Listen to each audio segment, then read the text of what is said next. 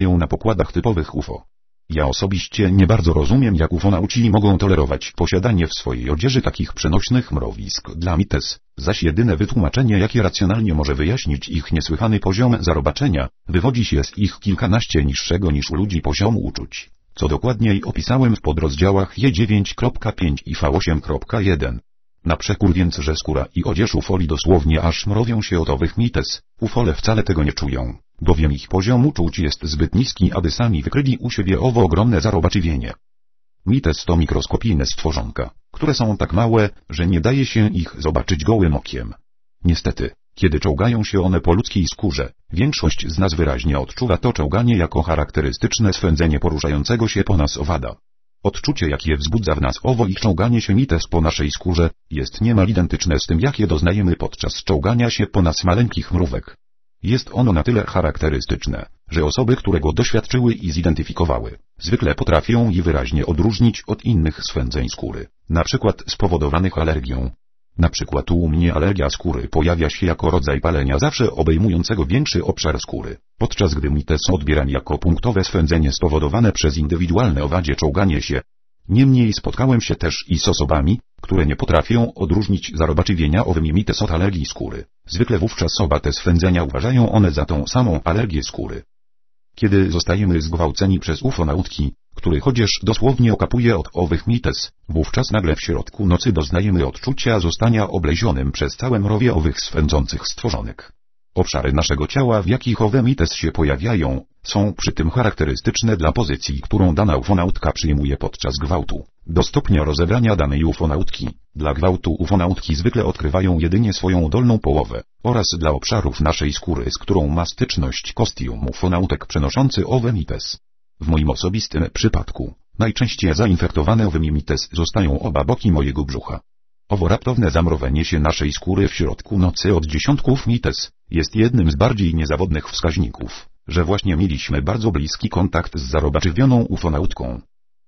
Do powyższego powinienem dodać, że odkrycie iż ufonauci aż okapują od mites, dokonałem stopniowo w dosyć interesujących okolicznościach.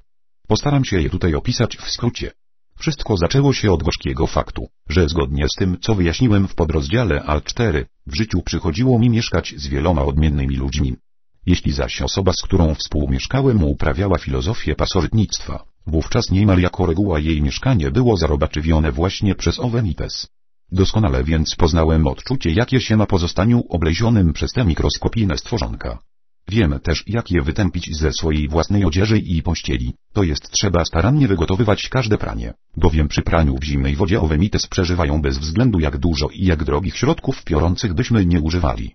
Ponieważ ja osobiście nie znoszę odczucia czołgania się owadów po mojej skórze, jakie owe mites powodują, zawsze staram się utrzymywać swoją odzież i pościel wolną od owych stworzonek. Niestety, w kilku ostatnich miejscach pracy zainstalowane są miękkie fotele.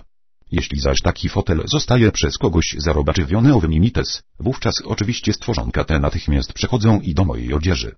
Na przekór więc nieustannego ich tępienia aż do zupełnego zaniku, co jakiś czas mój fotel w pracy bywał przez kogoś od nowa zarobaczywiany.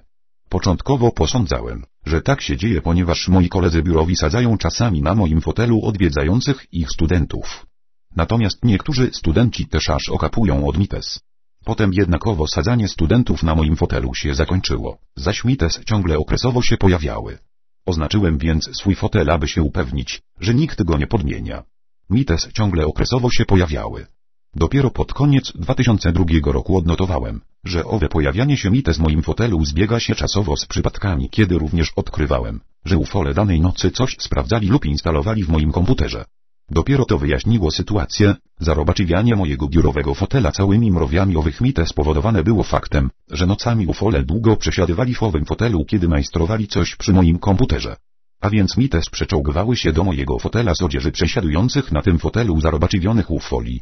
To odkrycie wyjaśniło mi z kolei znaną mi już wcześniej zagadkę. Dlaczego po każdym gwałcie ufonautek zawsze odkrywałem na sobie całe mrowie owych mites. Wierząc w wysoką technologię i poziom higieny ufonautów, poprzednio nigdy bowiem nie ośmieliłem się nawet posądzać, że na przekór swego technicznego zaawansowania, ufole są zarobaczowieni nawet bardziej niż najbrudniejsi z moich ziemskich studentów.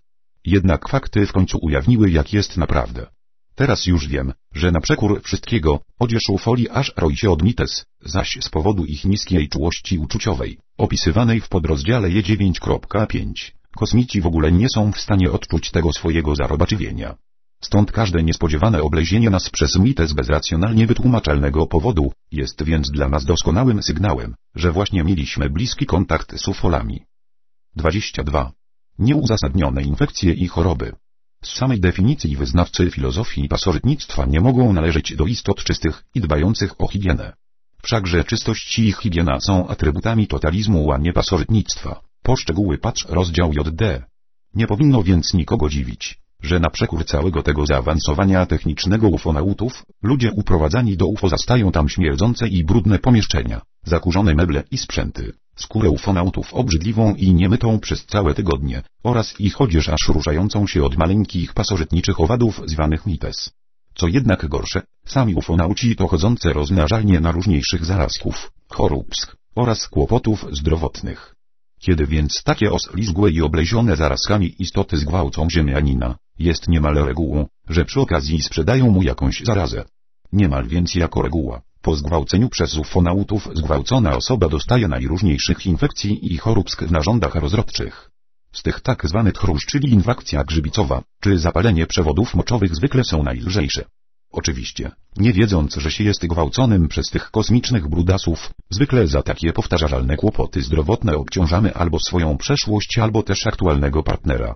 Tylko kiedy kłopoty takie pojawiają się bez uzasadnionej przyczyny, przykładowo gdy nie mamy przeszłości ani aktualnego partnera, wówczas zaczynają one nas głęboko zastanawiać. Aby więc zaoszczędzić nam niepotrzebnego łamania sobie głowy i psioczenia na siedzenia w publicznych publikacjach, warto wiedzieć, że takie nieuzasadnione infekcje i kłopoty zdrowotne faktycznie wywodzą się od gwałtu ufonautów. Warto również wiedzieć, że istnieje już wysoce efektywna metoda leczenia opisywana w podrozdziale W6.3, której użycie pozwala nam wydatnie przyspieszyć nasze zdrowienie oraz zredukować swoje cierpienia w przypadku padnięcia ofiarą takiego kłopotu zdrowotnego wywodzącego się od ufonautów. Tyle tylko, że aby z sukcesem zastosować na sobie tą metodę, trzeba wierzyć, że zostało się poszkodowanym właśnie przez ufonautów. Jeśli którykolwiek z czytelników zna jakiś ciągle nieopisany tutaj dalszy intymny wskaźnik odbycia nieuświadamianego stosunku z ufonautką, czy zgromadził jakieś dane obserwacyjne na temat częstości i okoliczności swojej własnej seksualnej eksploatacji przez ufonautów lub ufonautki, apelowałbym o skontaktowanie się ze mną, obowiązkowo na zasadzie anonimowej, i podzielenie się swoimi danymi obserwacyjnymi. W zakresie nieuświadamianej eksploatacji seksualnej ludzi przez ufonautów i ufonautki narasta bowiem coraz więcej bardzo drażliwych pytań, jakie pilnie domagają się odpowiedzi, jednak odpowiedzenie na jakie wymaga zgromadzenia większej liczby danych obserwacyjnych niż dane jakimi dysponujemy obecnie. Powyższe należy uzupełnić kilkoma informacjami. Przykładowo jeśli dany gwałt był następstwem zachowania modliszki opisywanego wcześniej, Wkrótce po nim wystąpią też objawy szkodzenia dla dokonania którego ufonautki przybyły do danej ofiary. Przykładowo ofiara gwałtu zapada na jakąś chorobę, odkrywa przykry dla siebie sabotaż i tym podobne ponadto w przypadku ufonautek gwałcących żonatych mężczyzn o stałym rozkładzie stosunków z własną żoną, na przykład zawsze w sobotę czy zawsze w środę wieczorem. Owe gwałcące nas od wielu lat ufonautki zwykle dokonują swego gwałtu w noc poprzedzającą taki systematyczny stosunek. Na dodatek do powyższego warto też wiedzieć, że wszelkie gwałty ufonautów i ufonautek zawsze są publiczne. Praktycznie to oznacza, że jeśli jedna ufonautka lub jeden ufonauta kogoś z nas gwałci, co najmniej jeszcze jedna ufonautka lub nawet aż kilka innych ufonautek czy ufonautów, zawsze jest obecnym przy tym gwałcie i przygląda mu się z uwagą i zainteresowaniem z bardzo niewielkiej odległości. Gwałceni są ludzie obu płci i to z taką samą częstością, to jest zarówno ziemscy mężczyźni jak i ziemskie kobiety. Ponadto gwałty te niemal zawsze odbywają się przy okazji. Ufonauci przybywają więc do, lub uprowadzają, kogoś na ziemi, zaś po zakończeniu działań jakie są ich głównym celem, któryś z nich może dokonać gwałtu. Tylko w niezwykle rzadkich przypadkach, zwykle kiedy ofiara gwałtu jest relatywnie młoda, to jest w przedziale wieku od kilkunastu do około 30 lat, oraz seksualnie bardzo atrakcyjna, ufonauci mogą się z nią kontaktować wyłącznie po to, aby ją zgwałcić. Warto także wiedzieć, że niektórzy ufonauci lubują się w gwałceniu, lub wpadają w zwyczaj gwałcenia, określonych ludzi. W takich przypadkach ich ofiary mają tych samych gwałcicieli słów przez wiele kolejnych lat, czasami nawet aż do czasu kiedy stają się, ci ludzie, bardzo starzy według ludzkich standardów. Ufonauci po prostu tak nawykną do gwałcenia owych wybranych ludzi, że traktują ich jak swoich stałych partnerów i kontynuują ich gwałcenie nawet kiedy ludzie ci stają się bardzo starzy. Ponieważ ufonauci i ufonautki nie starzeją się tak szybko jak ludzie, częstotliwość zgwałceń ich stałych partnerów z Ziemi nie zmienia się z latami i stąd czasami dochodzi do paradoksalnej sytuacji, że wiekowo starzy ludzi ciągle gwałceni są przez ich stałych partnerów z UFO z częstotliwością jakby nadal znajdowali się w kwiecie swego wieku. Rekomendowałbym zwrócenie uwagi na cechy opisane w tym podrozdziale. Jeśli bowiem czytelniku nie jesteś koszmarnie brzydki, ani nie masz choroby jakiej ufonauci będą się bali załapać, prawdopodobnie szokująco wcale o tym nie wiedząc i ty jesteś jedną z ludzkich ofiar takiej systematycznej eksploatacji seksualnej ufonautów. Jeśli zaczniesz zwracać uwagę na oznaki wyszczególnione tutaj, prawdopodobnie z czasem odkryjesz tą zapewne szokującą cię prawdę. Stąd cokolwiek ten podrozdział stwierdza, nie jest jedynie opisem kogoś nieznanego, kto mieszka za morzami daleko od ciebie, a faktycznie opisami twojego własnego życia oraz życia tych, których najbardziej kochasz. Niemal wszystko co napisane w tym podrozdziale, i w całym tym rozdziale, możesz bowiem wykryć w swoim własnym życiu, oraz życiu tych, których najbardziej kochasz. Oczywiście, po raz pierwszy najtrudniej jest wykryć i uwierzyć w własny gwałt. Potem oznaki kolejnych gwałtów zaczynają już uderzać w oczy coraz częściej.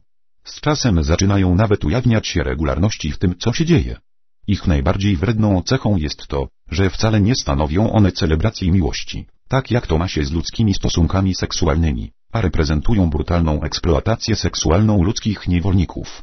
Z normalnymi stosunkami seksualnymi porównują się więc one tak, jak praca niewolnika porównuje się do ochotniczej pracy dla siebie i innych wykonywanej przez wolnych ludzi.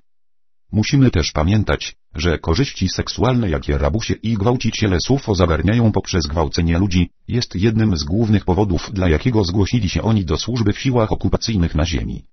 Dlatego cieszą się tymi korzyściami tak często jak tylko ich organizmy są w stanie to wytrzymać, zakosztowując każdego na ziemi na kogo im tylko przyjdzie ochota. U3.8 Instrumentalne wykrywanie nalotów UFO na nasze mieszkanie w celu dokonania instrumentalnego potwierdzenia naszych własnych uprowadzeń do UFO, przydatne jest użycie odpowiedniego wykrywacza UFO, czasami nazywanego także detektorem UFO. Wszakże na subiektywne zaobserwowanie samego faktu naszego uprowadzenia do UFO nie można liczyć z powodów opisanych wcześniej w tym rozdziale. Stąd też pierwszym i pilnym zadaniem dla osoby zgłębiającej problem własnych uprowadzeń do UFO jest obstawienie swojego łóżka różnego rodzaju detektorami UFO.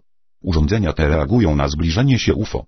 Stąd późniejsze dokładne odnotowywanie każdego nietypowego zachowania się tych urządzeń, da owej osobie relatywnie dobre potwierdzenie jej uprowadzeń do UFO.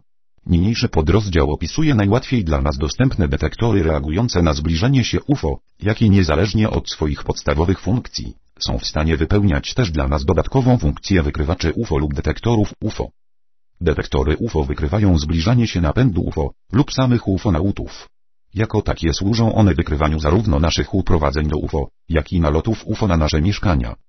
W celu odróżnienia pomiędzy tymi dwoma kategoriami naszych bliskich, chociaż zwykle nieuświadamianych przez nas, otarć o UFO, zostaną one tutaj zdefiniowane. Uprowadzeniem do UFO w niniejszej monografii nazywana jest sytuacja, kiedy dana osoba poddawana jest przez ufonautów jakiegoś rodzaju zabiegom, które wymagają jej fizycznego znalezienia się na pokładzie wehikułu UFO. Charakterystyczną cechą uprowadzenia do UFO jest więc, że dana osoba musi znaleźć się w obrębie wehikułu UFO, gdzie poddana jest ona działaniu jakichś urządzeń zabiegowych znajdujących się na owym statku. Natomiast aktem nachodzenia przez UFO nazywana jest sytuacja, kiedy w pobliżu danej osoby pojawi się wehikuł UFO lub ufonauta, który może ją obserwować, dotykać, a nawet zgwałcić, jednak osoba ta nie poddawana jest żadnemu zabiegowi wymagającemu użycia nieprzynośnych urządzeń technicznych zainstalowanych na stałe na pokładzie UFO. Oczywiście podczas każdego przybycia wehikułu UFO będącego w stanie migotania telekinetycznego, przez przypadek dana osoba również w jakiejś chwili może się znaleźć w obrębie pokładu UFO, jednak jej obecność na tym pokładzie nie zawsze jest niezbędna, a także nie zawsze jest ona poddawana celowemu działaniu zainstalowanych na tym UFO urządzeń. Zgodnie z moimi dotychczasowymi ustaleniami, istnieją aż trzy odmienne sposoby uprowadzania ludzi do UFO, które rzutują na poziom ich wykrywalności detektorami UFO dostępnymi nam obecnie. Są one jak następuje. I. Uprowadzenie bezprzemieszczeniowe. Podczas niego, uprowadzający nas wehikuł UFO znajdujący się w stanie migotania telekinetycznego wlatuje nocą do naszej sypialni, ustawiając się w ten sposób, że pozycja jego urządzeń badawczych pokrywa się z naszym położeniem. Dzięki temu uprowadzenie i wszystkie związane z nim próbkowania następują, kiedy fizycznie wcale nie opuszczamy swojej sypialni, ani nawet swego łóżka.